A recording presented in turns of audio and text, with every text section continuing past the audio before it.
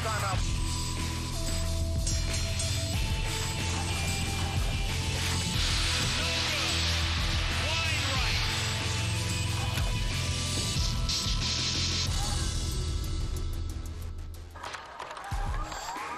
Hi, everybody. I'm Brian Kenny, and welcome to ESPN Classic's Top 5 Reasons You Can't Blame. In this show, we'll examine the case against Matt Leinart. As a sophomore and junior, the USC quarterback scaled heights of excellence seldom achieved in college football. He won a Heisman Trophy and led the Trojans to two national championships while losing just one of his 26 starts. Then he made what seems to have been a very expensive mistake. Instead of entering the 2005 NFL draft, where he was odds on to be the first pick, Leinart decided he liked college life too much to leave so soon. Oh, what a difference that year made. Not only did Leinart's decision to stay in school cost him millions of dollars, its effect on his pro career is incalculable. In this show, we'll stand up for the quarterback and count down the top five reasons you can't blame Matt Leinart for returning for his senior season at USC. But first, let's take a look at the case against him. Leinart gets some heat, goes down into the corner, touchdown. Winner, winner. This guy always found a way to win. He's in the end zone, touchdown, USC! Matt Leinart is one of the greatest college quarterbacks of all time. Leinart bumps it, going deep. Keary Colbert, got it. The championships, the Heisman Trophy, the winning streak, let's dream up of who else goes in that class because I'm they're not immediately coming to mind. Trojans on three. One, two, three. Trojans. As a sophomore in 2003, Leinart stepped into the most glamorous position in football and promptly lit up the scoreboard. Touchdown USC. Well, that's exactly what Pete Carroll wanted for his young quarterback. That season, the Trojans' main man passed for 38 touchdowns and led USC to a co-national championship. His three touchdown passes in a 28-14 victory over Michigan in the Rose Bowl earned him the MVP award. He may not be the most talented quarterback that ever walked out on a field, but I tell you what, he thinks he is, and he can make other people believe it too, and that's an amazing quality. The guy really has what some people think is a photographic memory. Leinart looking for Bush, throws, got him. He's a very poised quarterback. He's a really smart quarterback, too, at the same time, which I think a lot of people take for granted. As a junior, Leinart was brilliant again, winning the Heisman Trophy as he led the Trojans to an undefeated season. Every pass he threw was perfect on the money. He was the reason behind the calls. His leadership was unquestioned. His focus on the game, studying our stuff as well as the defense, he's just taking that so serious that's allowed us to do so many things with him. In the 2005 Orange Bowl, USC nailed a second straight national title, routing Oklahoma 55 19. Leinart won another MVP award, throwing for 332 yards and an Orange Bowl record five touchdowns. Touchdown! And a new Orange Bowl record! Five touchdown passes. Almost everyone expected him to declare for the pros. No question. You had to believe that that was the last time you'd see Matt Leinart in a USC uniform. What else could he accomplish? If you break it down, the only thing left for him to do was fail. He was as ready as ready gets to be the number one draft pick. But 10 days later, Leinart announced he had other plans. I will be coming back for my fifth year. I could not believe it when I heard he was staying. How could anybody not go? You gotta go. It boggled the mind. Who would make a choice like that? He could never live up to what happened the year before. He was the it guy. His decision to come back threw caution to the wind. He's looking at throwing millions of dollars out the window and risking injury. On any given play, your whole life can change, not just your career, but your whole life, because you get injuries that you just don't recover from. You can't risk injury, you can't risk bad play. Any business person in their right mind goes in the NFL. He could only go down in a sense.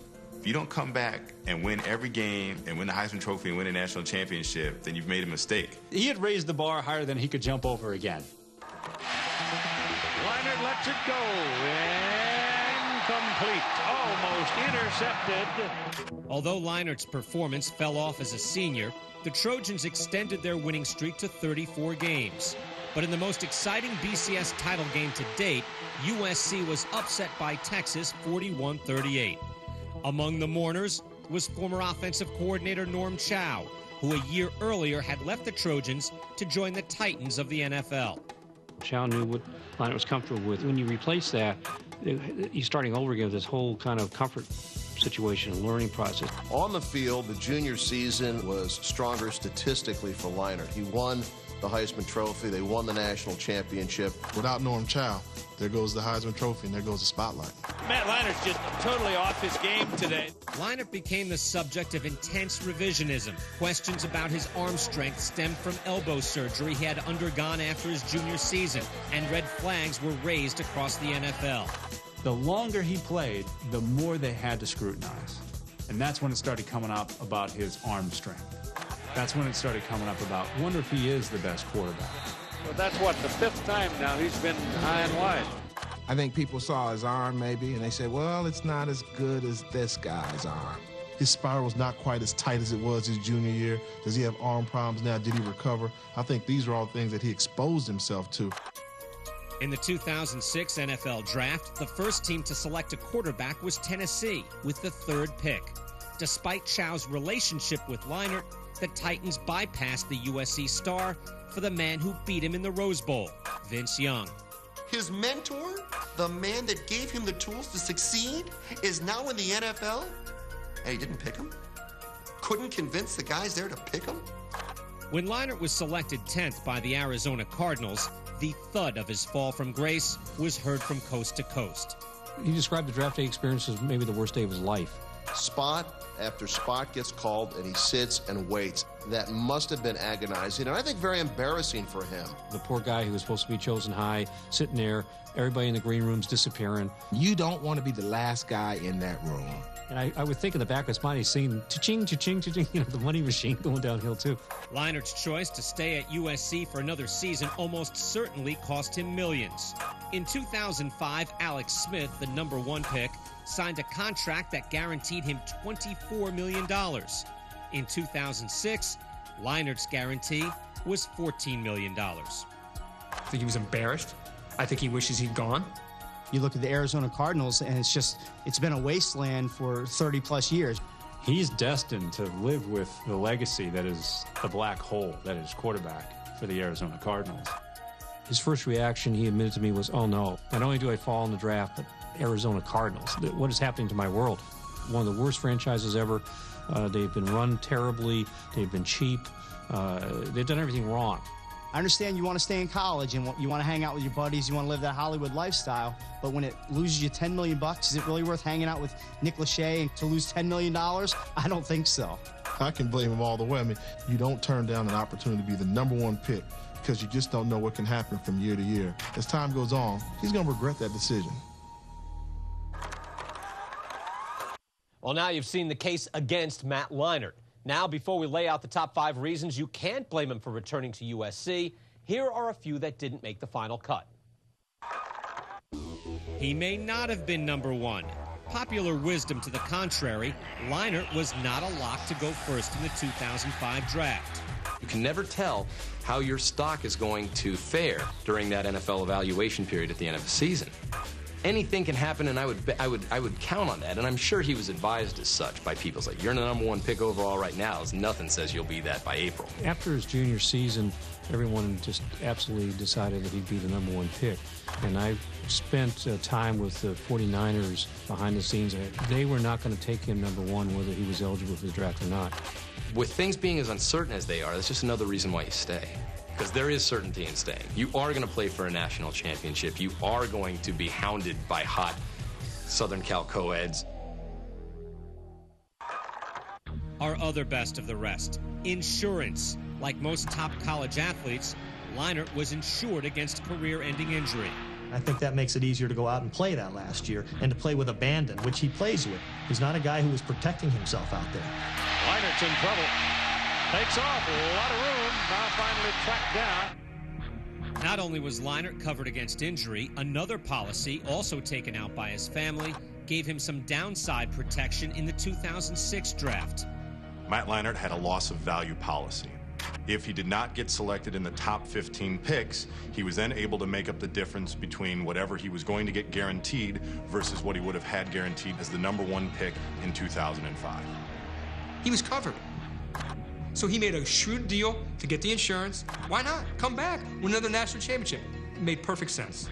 Worst case scenario is that you're a millionaire. When we scar tissue. Anderson throw. Throws to Bush. Wide open, 45 40. One man to beat, 30. Turn it inside out. Despite winning the Heisman in 2004, Leinart was playing with an injured throwing elbow. I don't think you can blame him for not coming out because he had a question about his arm. His left elbow had scar tissue. He played the whole season with it. Leinart from the side, uh, use that arm again. Throws this one. The ball's caught. He had to have surgery, and I think his arm strength needed to be improved. He wasn't going to be able to go to that combine, and he wasn't going to be able to throw for teams. He knew that his body needed that break, that he was not ready to go and, and work out for people. It's a red flag, you know, and, and the more red flags they see in a guy, especially again, we're talking about a you know very very small pool of players with a lot of money at stake, and so if they can think of more reasons not to take a guy, they don't take him. It's just not something you can hide from a scout. They can tell when a guy's favoring his elbow, uh, and that would have a huge impact on whether you went number one or number 10 or number 15. Are you starting to change your thinking? Maybe reason number four will help. San Francisco was on the rocks. From 2003 to 2005, no NFL team had a worse record than the 49ers 13 and 35. I think he may not have just wanted to play for the 49ers because the franchise was in such a state of disrepair. They're expected to be one of the dregs of the NFL probably over the next two or three years. His parents, his dad Bob, looked at that offensive line and saw all the quarterbacks were getting killed back there. And that did not appeal to them. It, it almost seemed like USC had more talent than the Niners did at that point. He'd have gotten all the money, and San Francisco would have would have bankrolled him and just set him out to be destroyed. He's up in San Francisco. Sure, he's got the cash, but I mean, he's running for his life every Sunday. This could be a blessing in disguise for Matt Leinart to end up with the Arizona Cardinals. Arizona's a pretty good place to be for a young quarterback. I mean, you've got two 1,000 yard receivers in Boldin and Fitzgerald. You have a proven all pro running back in Edgerrin James and a two time MVP quarterback to learn from. The key is having a guy like Kurt Warner, NFL MVP, Super Bowl MVP, guy that's done it all, to see how he goes about his approach with the day to day activities of being an NFL quarterback. History of NFL is replete with right guys at the right time in the right team.